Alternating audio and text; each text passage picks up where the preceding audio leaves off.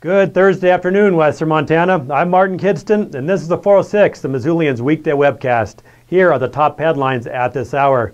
State Senator Dave Wanzenried, who recently moved from Missoula to Billings, announced today he is ending his efforts to seek the Democratic nomination for the U.S. Senate race at Saturday's party convention. Wanzenried's announcement leaves two people actively campaigning to succeed Senator John Walsh as a Democratic candidate this fall.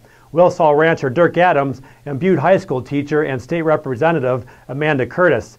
Walsh withdrew from the race in the wake of charges he plagiarized his master's degree uh, final paper at the U.S. Army War College.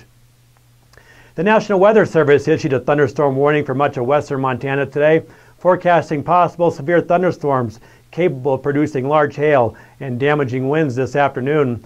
The warning comes after high winds pushed uh, on Wednesday pushed the wildfire across the road near Dixon on a Flathead Indian reservation. Check Missoulian.com for the latest wildfire and weather updates.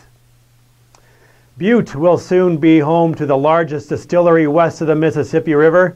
Headframe Spirits, which uh, already operates a production facility and tasting room in Butte, has announced plans to acquire 20 acres in the historic Kelley Mine Yard to build a manufacturing plant capable of turning out a barrel of whiskey every seven minutes. The site will also include a restaurant, overnight bungalows, and an outdoor event space.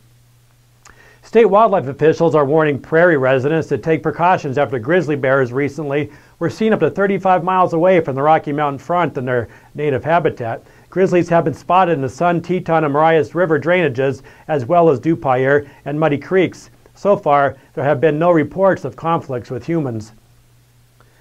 The ninth annual Pet Fest is Saturday, and the popular Missoula event has outgrown its home in Caras Park. This year's festival, which includes adoptions, entertainment by Davis Muddy Crew, wiener dog races, and more, will be held at the University of Montana's Adams Center. That sounds like a good time.